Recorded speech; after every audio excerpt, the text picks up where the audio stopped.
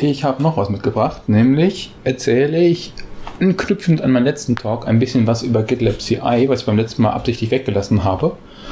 Und bevor ich loslege, muss ich sagen, diesmal habe ich den Talk immer noch mit Markdown gemacht, aber mit Pandoc. Und es ist genauso cool wie vorher, nur dass ich jetzt Reveal.js benutzen kann. Also es, war, es ist eine Verbesserung. Ähm, genau, das, dieses schicke Bildchen hier habe ich gestohlen von unserer Marketingseite, so wie beim letzten Mal. Und äh, ich möchte wirklich nur über CI reden. Das ist so ein bisschen das Linke. Das heißt, vielleicht erzähle ich irgendwann nochmal über das Rechte, das CD, was wo irgendwelche Fallschirme runterfallen und so. Äh, ach so, ähm, für die, die beim letzten Talk nicht dabei waren oder sich gehört haben und so weiter, ähm, ich bin Winnie und arbeite bei GitLab. Deswegen erzähle ich was über GitLab. Und unabhängig davon, dass ich dort arbeite, finde ich GitLab auch ziemlich cool. Deswegen erzähle ich was über GitLab. Und deswegen arbeitest du da auch. Und deswegen arbeite ich da auch. Das ist irgendwie alles miteinander zusammen. Was ist CI? Ein Intercity rückwärts, darüber rede ich nicht. Manchmal auch Corporate Identity, darüber rede ich nicht. Ich rede über Continuous Integration. Und äh, wie sieht das aus, so ungefähr? ähm, also alle arbeiten irgendwo ein bisschen was dran und eigentlich will man am Ende, dass alles doch irgendwie geregelt abläuft und danach vielleicht sogar noch funktioniert. So wie dieses Gift, deswegen finde ich es besonders passend für CI, aber eigentlich auch für Softwareentwicklung im Allgemeinen und so viele andere Dinge. Ähm, halt, warte. ich so, ich habe ah, okay. schon, glaube ich, mehrere Tage verwendet und noch nicht alles entdeckt.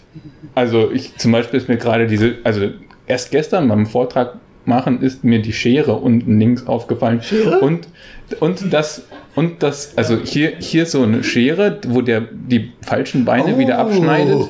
Und die richtigen Beine ploppen, also hier ploppt der Kopf auf die richtigen Beine wieder drauf. Und dass der hier, die, dass, dass immer noch einer ist, der die Knochen auf isst, damit der Teller wieder leer ist, damit ein neues drauf fallen kann. Das ist mir bis gestern auch noch nicht aufgefallen.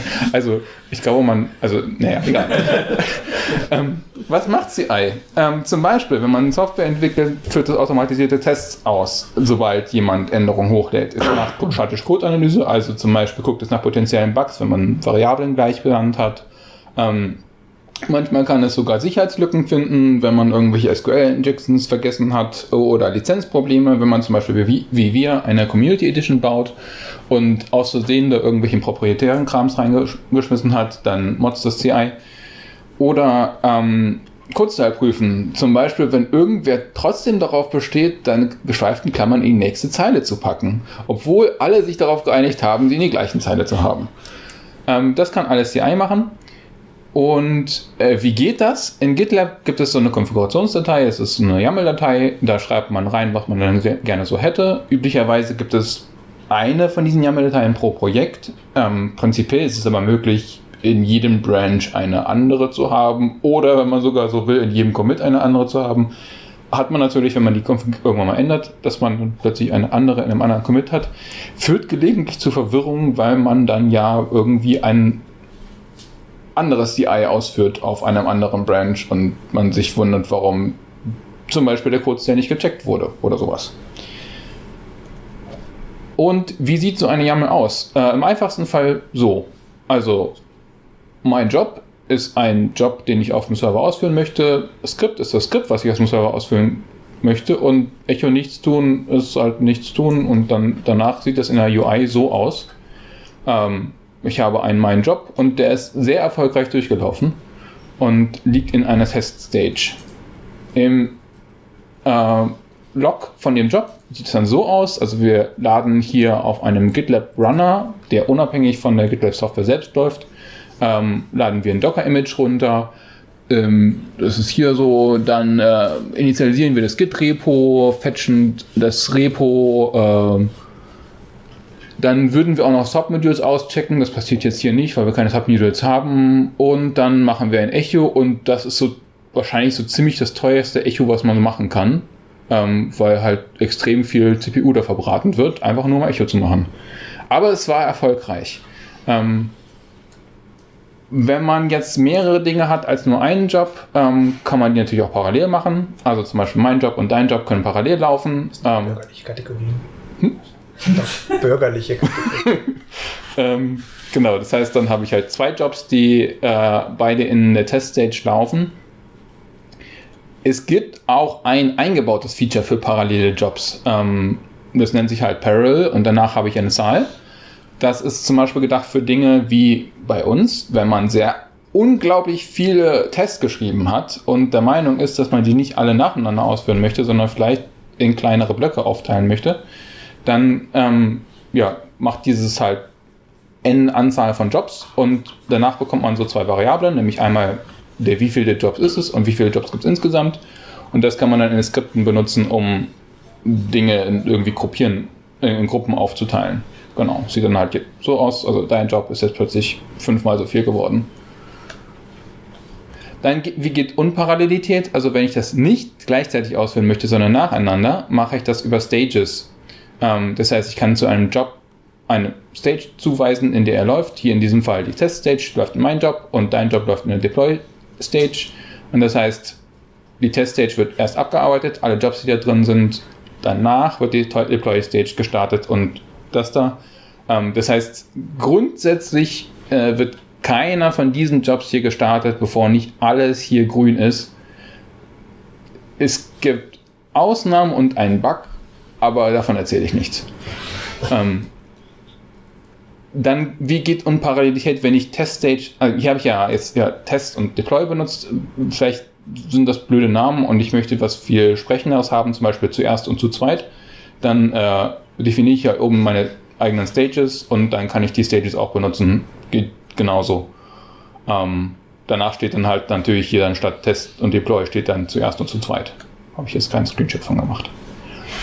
Dann, wie entstehen eigentlich neue Pipelines? Die werden nicht durch den Storch gebracht. Ähm, jeder Git-Push erzeugt eine neue Pipeline grundsätzlich. Ähm, das heißt, sobald ich eine neue Änderung mache, entweder über die UI oder lokal und dann hochpushe, dann äh, wird automatisch eine neue Pipeline erzeugt. Alle Sachen, alle Jobs, die ich definiert habe, werden ausgeführt. Ich kann auch die Pipelines manuell starten. Nee, ist ein Link, den klicke ich aber jetzt nicht. Ähm, also ich kann in der UI halt sagen, ich möchte eine neue Pipeline machen und kann dir auch noch so ein paar Parameter mitgeben. Ich kann auch die API benutzen dafür. Und es gibt so cronartige Pipeline-Schedules, die kann ich, ich glaube sogar über die UI und die API definieren. Das heißt, ich kann sagen, jeden Mittwochabend um 18 Uhr würde ich gerne mein Code-Style checken. Oder irgendwie sowas in der Art halt. Und dann habe ich halt meine Konfiguration für STI in meinem Repo liegen und das Pipeline Schedule macht einfach eine Pipeline genauso, als hätte ich es gerade gepusht. Äh, ich kann in Pipelines auch rumtrödeln. Ähm, das heißt, ich kann hier einen Job sagen, äh, er soll nicht sofort starten, wenn die Stage dran ist, sondern er soll eigentlich 30 Minuten später erst starten. Das kann zum Beispiel interessant sein, wenn ich in meinem ähm, sei ein Deployment auf einer Teststage habe und ich möchte vorher Leuten Bescheid sagen, bevor ich die Teststage-Pack mache, damit Leute sich nicht wundern, warum plötzlich ihre Teststage nicht mehr funktioniert. Das heißt, ich könnte irgendwie sowas haben wie einen Job, der schreibt allen Leuten eine SMS, wenn die Teststage platt gemacht wird und dann warte ich erstmal 30 Minuten, dass alle Leute Zeit haben, ihre SMS zu lesen und danach fange ich mit dem Deployment an. Das heißt, kann aktiv warten und die nächste Stage aus der CI wird dann halt auch erst auch ausgeführt, wenn alle gewarteten Jobs fertig sind. Ich kann außerdem auch Handarbeit machen. Ich kann nämlich sagen, äh, ein Job soll manuell ausgeführt werden. Ähm, dann erscheint hier so ein Icon in der, in der äh, Pipeline und der Job wird von der Pipeline erstmal einfach komplett ignoriert. Und zu einem beliebigen Zeitpunkt X kann ich mir sagen, ich klicke jetzt diesen Button und dann führe ich diesen Job aus. Ähm, warum gibt es das? Weil manchmal möchte ich ja etwas im Kontext von einem CI ausführen, aber es muss halt nicht automatisiert passieren. Zum Beispiel kann es ja sein, dass ich meine Teststage gar nicht bei jedem Git-Push neu deployen möchte, sondern nur ab und zu mal einen Stand auf Teststage spielen möchte, weil das Deployen viel zu lange dauert oder ähm, nur Freitagnachmittags getestet wird oder irgendwelche solche, solche, Dinge. Und dann kann ich halt explizit manuell so ein Deployment ausführen. Ähm, weil es aber in der Pipeline drin steckt, weiß es halt immer noch den Commit, auf dem das passieren soll. Ähm, genau, ich kann auch Dinge ein, äh, einkludieren und auskludieren. Ähm, ich kann sagen zum Beispiel, dass mein Job nicht auf dem Master Branch laufen soll, sondern nur auf dem Apprentice Branch. Ähm, ich kann ganz viele andere Regeln definieren, die ich jetzt gerade nicht erwähne, aber die da und diese URL natürlich zu finden sind. Zum Beispiel sowas wie, ähm, wenn ich Makefiles angefasst habe, dann möchte ich bitte den Job ausführen. Wenn ich äh, aber nur JavaScript-Dateien angefasst habe, möchte ich irgendwas anderes machen. Und ähm, genau, also man kann halt relativ komplexe Bau Regeln auf diesem Accept und Only bauen. Hier sind es einfach nur Branch Names, die benutzt werden. Dann andere Dinge, die man mit CI noch machen kann. Ähm, man kann Variablen reinschmeißen. Ähm, das ist entweder, um das Verhalten zu verändern, ähm, zum Beispiel der Branch-Name kann das Verhalten verändern. Äh, ich kann aber auch Variablen auf dem Projekt oder auf der Gruppe in, in GitLab definieren, die dann an die Pipeline weitergegeben werden, um das Verhalten zu ändern. Ich kann auch Geheimnisse weiter ausplaudern an meine, an meine Pipeline, zum Beispiel irgendwelche Private SSH-Keys äh, oder sowas, die kann ich in Projekt konfigurieren und die Pipeline kann es benutzen. Ich kann Artefakte definieren in meiner Pipeline, das heißt Dateien, die ausgespuckt werden. Zum Beispiel ist es relativ praktisch, wenn ich irgendwelche HTML-Seiten deployen möchte irgendwo, dass die dann rausputzeln aus der, aus der Pipeline. Ähm, ich kann aber auch die Dateien, die rausgeputzelt sind aus einer früheren Pipeline, aus einer früheren ähm, Stage ähm, kann ich in späteren Stages benutzen. Also ich kann irgendwie ein Ding kompilieren und das kompilierte Ding kann ich in späteren Stages dann äh, benutzen, ohne es neu kompilieren zu müssen. Ähnlich, aber nicht gleich gibt es Caching. Das ist aber, um Dateien zwischen verschiedenen Pipelines auszutauschen. Also zum Beispiel, wenn ich heute 10 GB Node-Modules runtergeladen habe, möchte ich die morgen vielleicht nicht nochmal runterladen, sondern morgen nur 9 GB Node-Modules runterladen und dann habe ich halt 1 GB gespart. Und ähm, muss man sich halt überlegen, ob es Sinn macht. Bei uns macht das Sinn, weil wir haben bestimmt 10 GB Node-Modules.